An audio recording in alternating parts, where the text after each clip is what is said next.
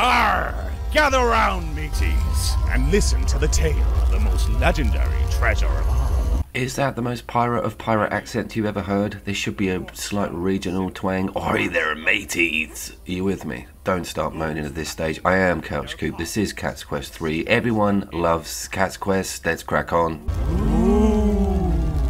Cat's Quest 2 came out in 2019. I just googled it. They made us wait five years for this. It's a very, very good two player local co op ARPG, and so is Cat's Quest 3. Nothing's been ruined, no major changes, only cool new stuff.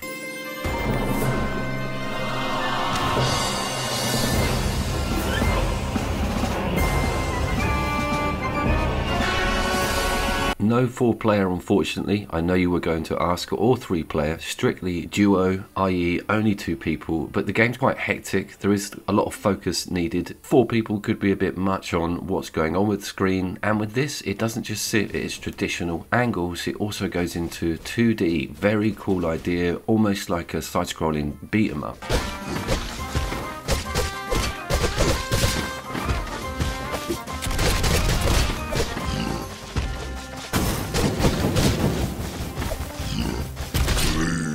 The game comes with a nice workable dodge on X and it's got a lot of loot including head, torso and weapon and range weapon and two magic slots including a third one that opens up. You're kind of addicted to what you're going to find, what you're going to get to put on and what your specials are going to look like when you develop the character. And I don't need to sell you this adorable boat combat, the footage will do that for me. The boat also shares its control. Someone can have the navigation task, the other person can be shooting, but at any time you can switch out without telling the other person. So there's quite a lot of hilarities to be had just with the boat section. The graphical rework is also quite good, giving you a little bit more detail within some of the dungeons, and the water looks really excellent. You get a little rubber ring when you go in it, and you can maneuver around. You don't drown. There are no no-go areas within dungeons, so to speak. Player 2 or the non-hosting player can leave the game whenever they want want doesn't disrupt anything that's pretty damn cool. And you can do this at the sleep or health replenish stations which will always be at the front of every dungeon and they're strategically put within that open world map. They are save points and it's important to visit them regardless of whether you need any health or not. We've obviously found that out the hard way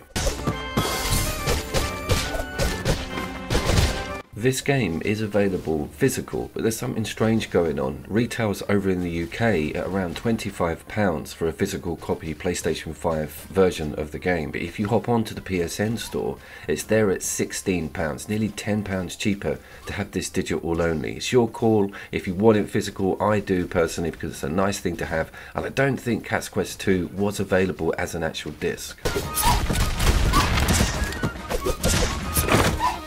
Be prepared for the items only going to one of the players. I thought they were shared. We assumed if someone found something amazing and cool, like a set of Wolverine claws, that we would both get them. No, the decision has to be made within that UI, and that's a pretty cool idea.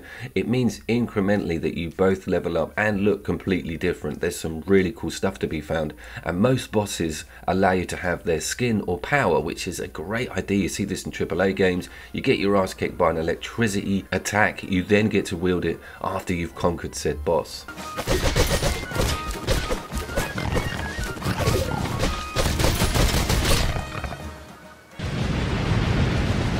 The map could be one of the stars of the show, allowing you to go absolutely anywhere, which causes you to wander into OP sections, pick fights with giant rubber ducks. This was hilarious.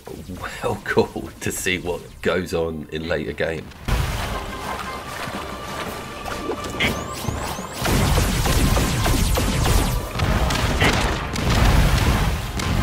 I did want to mention that structure with the campaigns. Kind of got a Mario Galaxy vibe with getting the unlocks on a major tower to then get in to progress up the levels. You have to go around this map completing mini tasks, smaller levels and sections in order to get these padlocks unlocked and there's three of them. So you kind of get a choice in which way you want to chip at that task. You can go right off into the corners and see if there's any random towers that you need to take down or dungeons that you need to visit. I like that open plan idea with a singular task in mind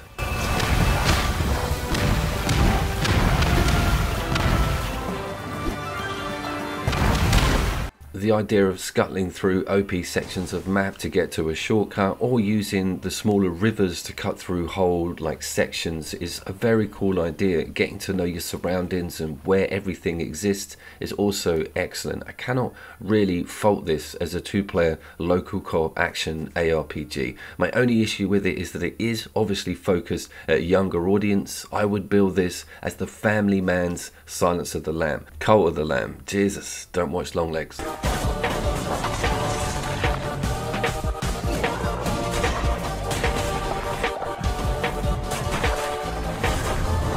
Straight up see the difference in frame rates against Cult of the Lamb, and I will link the full video review to that again on PSN. And it's very much an amped up experience in this direction, just not as cool a loot, and it's more of a hub focused story.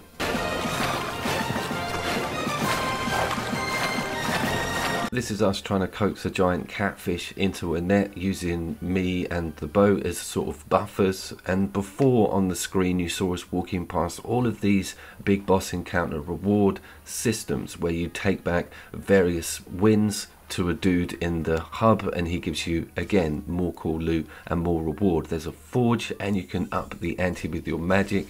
The game is massive and it's tiny on data, barely 2 gigabyte. And for that cost, 16 quid digital, it's not really a tough decision on the local co-op level.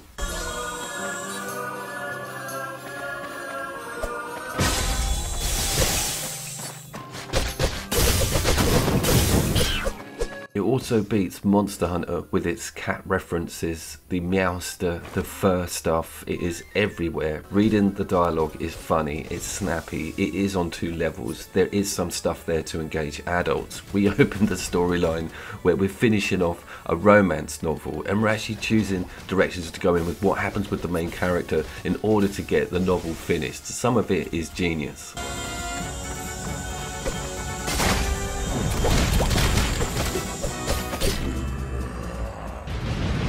And I think back to the accessibility point, it's really important to have a good local co op game that you can play with family that is simple enough for the younger ones to access and get some feedback from, but also for you to enjoy on a sort of higher level with all the loot and meta that's going on. This is that perfect middle ground, giving you loads of depth if you want it, but being pretty damn easy for somebody who's not that used to the genre.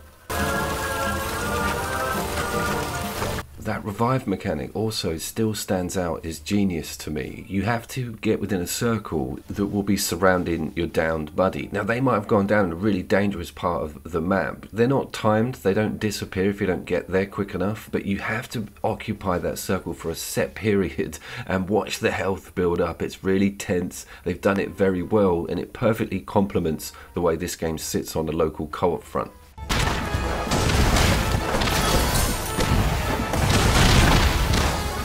Is there anything wrong with it? Not really from my point of view. It's kind of a perfect sequel to an already excellent series and it's timed well. We are on a slight dry patch with good local co-op indie games and this one's brand new and available physical which I think is a big plus.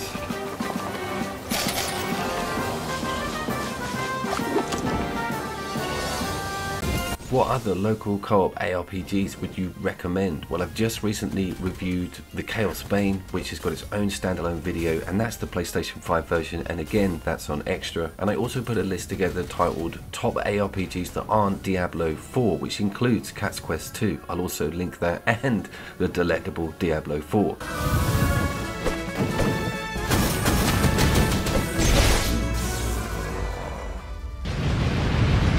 Am about to show my audience what Atomic Heart looks like on the PlayStation 5, which I've been waiting to do for well over a year. That one's going to be a huge video for me. And sticking with that offline single player front, I never got Assassin's Creed Valhalla on the channel on PlayStation 5. And I will say now, dang, that's a stunning looking game and got overlooked a little bit by my good self. I was, of course, Couch Coop, and I'll see you slappers down there.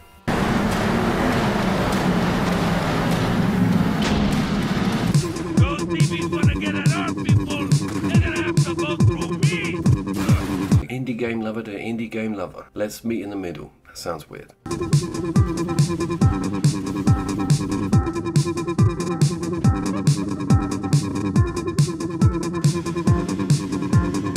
Bag battle up next, mate. It's not called that. You do that joke every time. Tell them the real name, Scrotum Skirmish.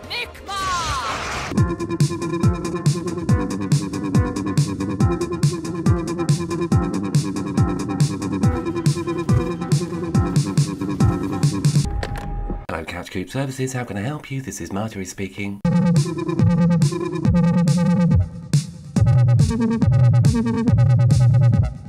Couch Coop must reign supreme. I've gone Yoda.